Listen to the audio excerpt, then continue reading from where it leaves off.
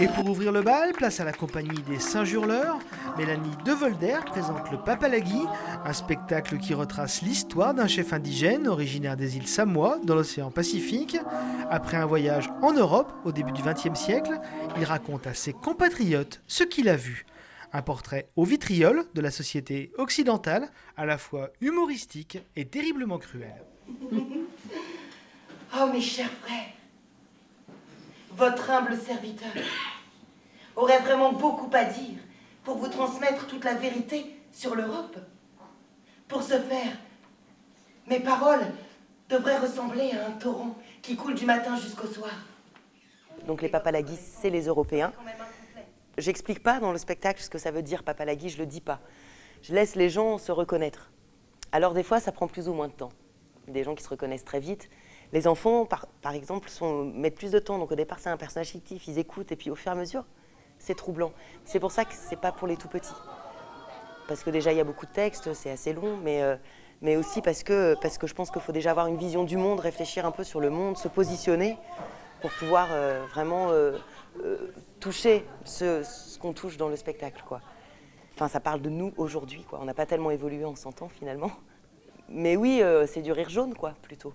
Oh, c'est bien le chien. Oh, c'est bien, t'es un bon chien. Couchez maintenant. Couchez. Couchez le chien.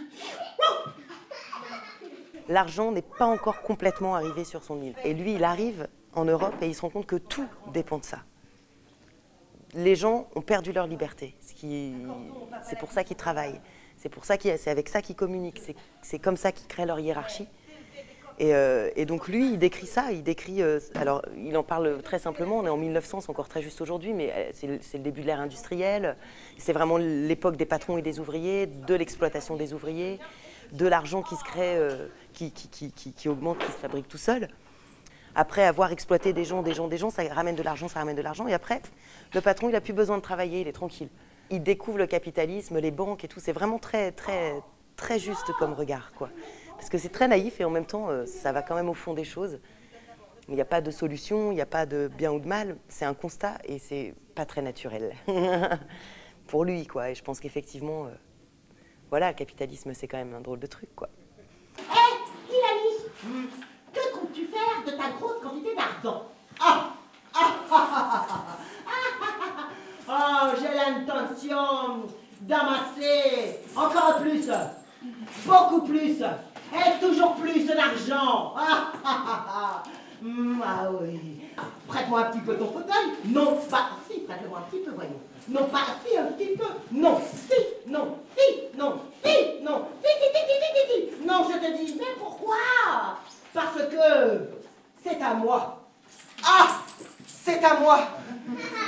Retenez bien cette phrase, elle est très très importante. L'humour est important dans le texte et dans la pièce. Alors moi, j'ai pas voulu euh, faire euh, une chose moraliste ou, euh, ou, ou, dire c'est mal, ce qu'on vit, c'est pas bien. non, c'est ce qu'on vit. Il y a des choses super. D'ailleurs, mon personnage,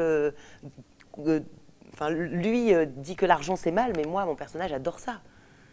Elle adore, elle voit une pièce qui traîne, elle la ramasse, même si elle en fout partout, parce qu'à un moment donné, elle s'emballe dans le discours. Mais, mais au fond, elle est une papalagui pure et dure et elle aime ça, quoi. Et l'air est presque toujours rempli de cendres et de fumée. Cet air descend en pleuvant dans les fontes, et les hommes reçoivent dans les yeux et les cheveux de la terre noire et du sable dur entre les dents, et les hauts coffres de pierre ressemblent à la vase du marais des mangroves. C'est tout cela que le Papalagui appelle une ville. Création dont il est très fier.